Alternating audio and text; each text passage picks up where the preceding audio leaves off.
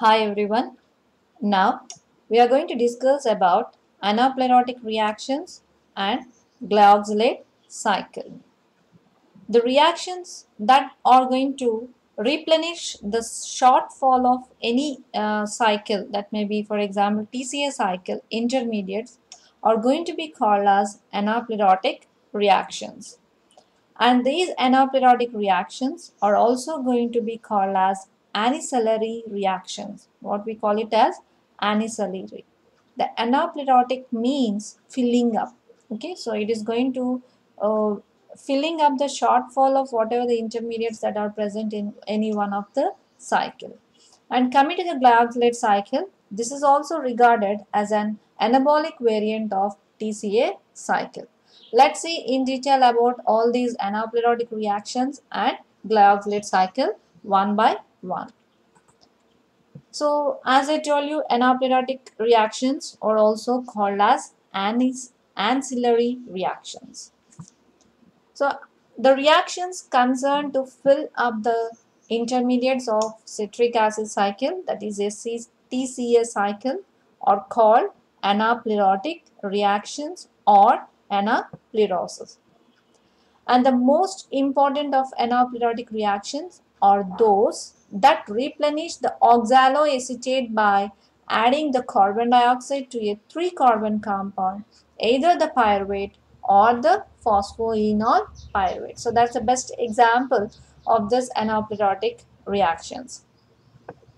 And we are going to have majorly of two important reactions that is the silent features of uh, important anaplerotic reactions are number one uh, some microorganisms such as uh, Arthrobacter globiformis and yeast cells use an enzyme called as pyruvate carboxylase to catalyze the pyruvate to oxaloacetate or oxaloacetic acid. The enzyme pyruvate carboxylase was uh, first discovered by Wood and Werkman who first demonstrated that carbon dioxide fixation is not restricted exclusively to autotrophs but it also operates in the heterotrophs.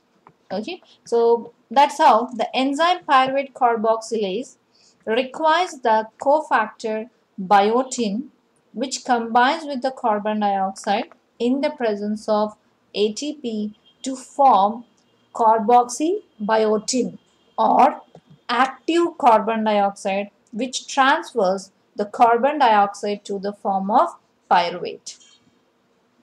Okay, and what happening uh, resulting to form oxaloacetate. So this all thing is happening because of this conversion of uh, this carbon dioxide to giving rise to the pyruvate is going to be of the formation of oxaloacetate. Now the acetyl CoA acts as a uh, what we call it as positive modulator to activate this enzyme.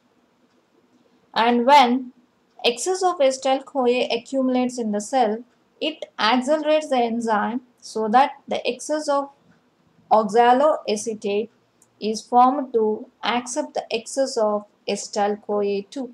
So that's how they are going to enter into the TCA cycle in forming the citrate, all those things. And some more other uh, microorganisms like E. coli possess another enzyme called as phosphoenol pyruvate carboxylase. Simply I have written here as PEP carboxylase.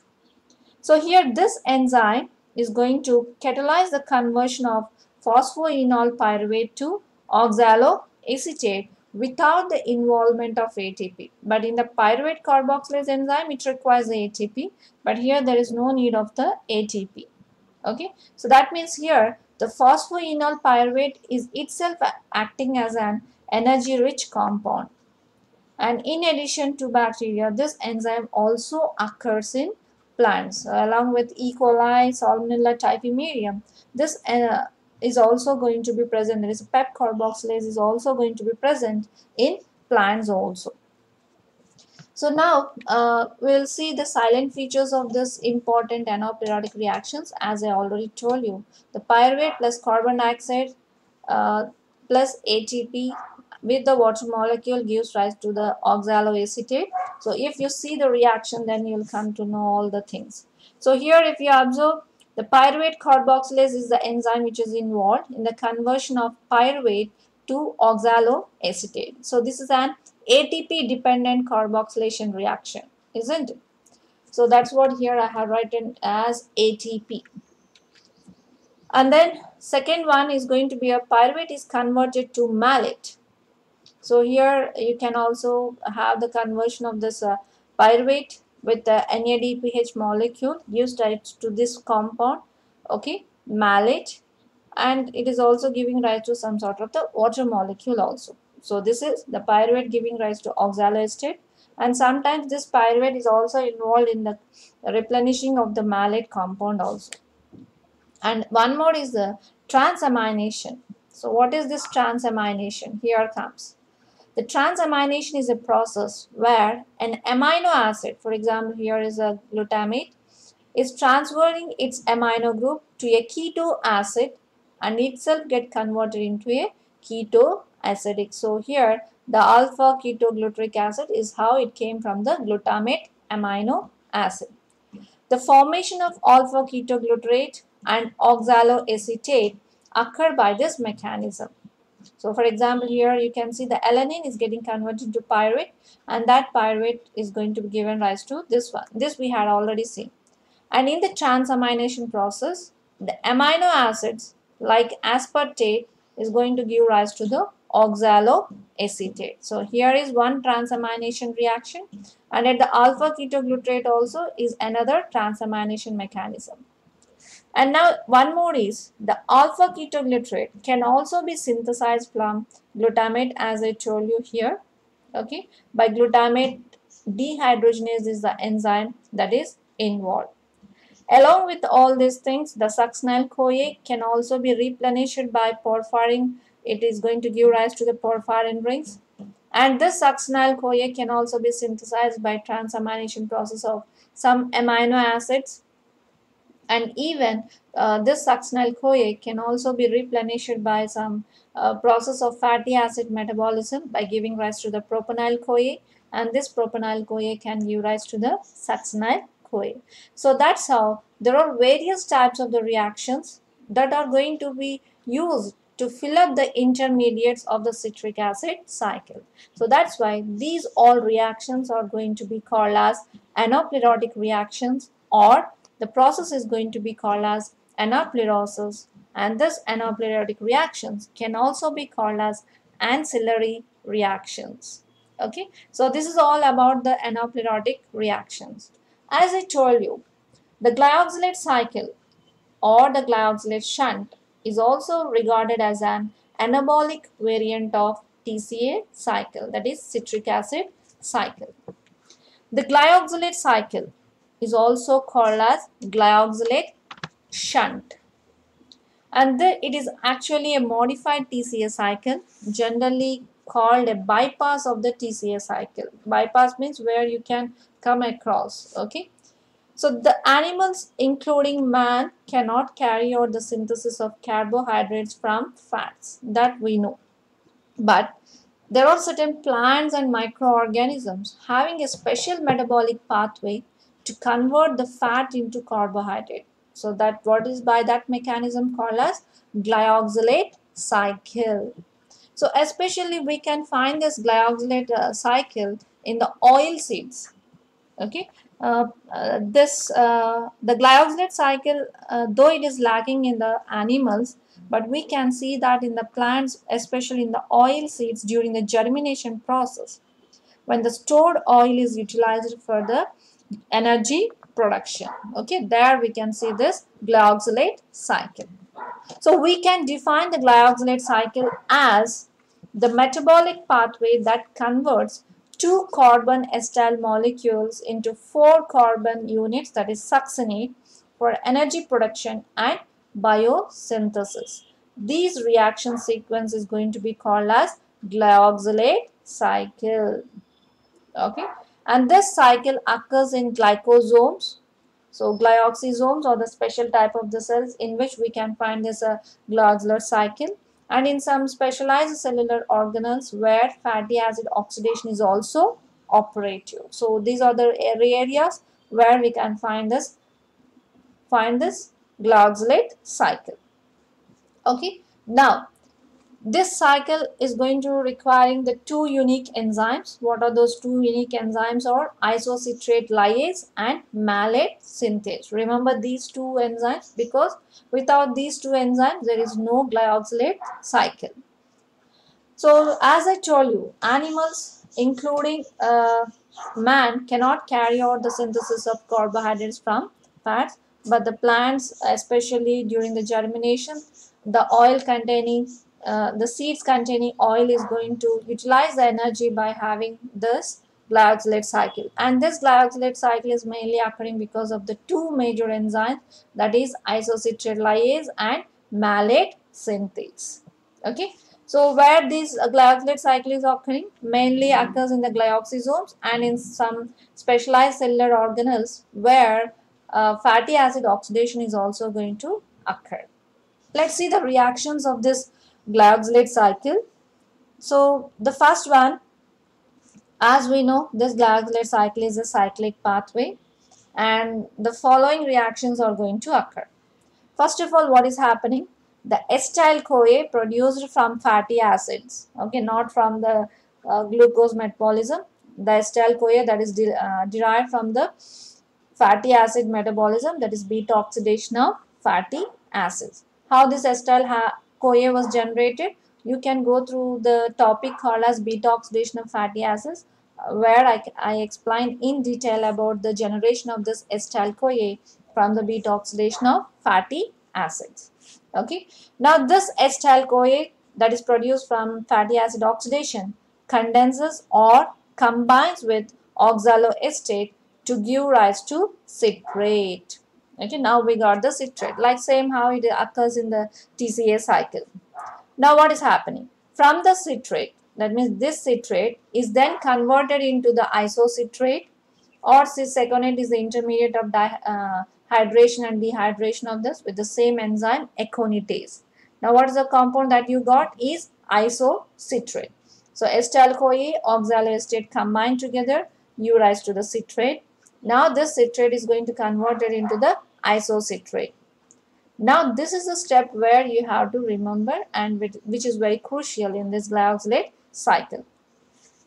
At this stage, the isocitrate bypasses the TCA cycle. Generally, it have to go like this of generating alpha ketoglutarate, succinyl-CoA like this, it have to go. But now what is happening? It is going to bypass at this step. Isocitrate is going to be cleaved by an enzyme called as isocitrate lyase into two molecules. One is called as glyoxylate. As the main compound of this cycle is glyoxylate, this was named as glyoxylate cycle. And this uh, bypass of a glyoxylate cycle was first uh, given by the Krebs and H.R. Kornberg. Okay, so those two are the scientists who first studied about this bypass of the TCA cycle, uh, mainly in the micro organisms where those microorganisms grow on acetate as the sole carbon sources because they have to utilize two or three carbon compounds for their energy source okay? So this Krebs and Kornberg as they said this is a bypass of the TCA cycle and those were the persons who found this glyoxylate cycle now, what is the compound that we are getting because of the lysis of isocitrate? One is the glyoxylate and another one is the succinate. Now, another molecule of acetyl-CoA is now utilized to combine with the glyoxylate cycle. Now, here is our glyoxylate and now this glyoxylate is again combining with one more molecule of acetyl-CoA and this reaction is going to be occurring in the presence of an enzyme called as malate synthase and giving rise to malate. Now this malate will be converted into oxaloacetate and it combines with one more molecule of acetyl-CoA and the process of TCA cycle continues. See here in this process you are not going to have the bypass of this whole process isn't it? That is alpha ketoglutarate, succinyl-CoA these are all not occurring. So it is directly entering into the uh, malate which is the next to the first step. So the malate so formed enters the citric acid cycle and now we are getting one more molecule along the lysis of this one is a succinate. And this succinate is converted into the oxaloacetate and then to glucose involving the reactions of gluconeogenesis. Okay? Gluconeogenesis. So this is how the glyoxylate cycle is going to be the bypass of the TCA cycle so I hope so uh, you understood. Let's have a quick uh, view of this glyoxylate cycle once again. The first step of glyoxylate cycle is oxaloacetate is going to combine with the acetyl-CoA to give rise to the citrate. Now this citrate is going to be converted into the isocitrate. Now at this stage the isocitrate is going to be cleaved into two molecules. One as the glyoxylate another one is the succinate. In the presence of an enzyme called as isocitrate lyase. Now this glyoxylate with the help of another molecule of acetyl-CoA give rise to the malate in the presence of an enzyme called as malate synthase. Now the other molecule that came from the isocitrate lysis is succinate and this succinate is converted into oxaloacetate and then to glucose involving the reaction of gluconeogenesis. The synthesis of glucose is going to be the gluconeogenesis. And the overall reaction of this glyoxylate cycle as I told you, it's a cyclic pathway and these are all the steps. And the major enzymes that are involved is isocitrate lyase and malate synthase. So whatever the things that I have explained is the same thing here. So the significance of glyoxylate cycle. So why we are going to have this one? As I told you, this is a bypass reaction of TCA cycle. And it occurs in bacteria when they are cultured in acetate uh, rich carbon source which are going to be of two carbon or three carbons mainly. And when higher fatty acids are oxidized into acetyl CoA without forming the pyruvate acid then the acetyl CoA enters into the glyoxylate cycle obviously. And the metabolites of this cycle like succinate can directly be used in the synthesis of uh, porphyrins required for the production of cytochromes, chlorophyll and other tetrapyrroles. So these are all the significances of uh, glyoxylate cycle. Then coming to the overall reaction of the glyoxylate cycle, two molecules of acetyl-CoA plus NAD plus two, one mole, sorry, two molecules of water is going to give rise to the one molecule of glyoxylate and one molecule of succinate and two molecules of coenzyme A, one NADH plus H plus. So this is the overall reaction of the glyoxylate cycle. So that's how we have ended the topic of anaplerotic reactions which are also called as ancillary reactions and the second type is glyoxylate cycle. The other pathway of uh, bypass of the TCA cycle which can be considered as the anabolic of uh, TCA cycle. Okay, so this is all about the glyoxylate cycle and anaplerotic reactions. Thank you.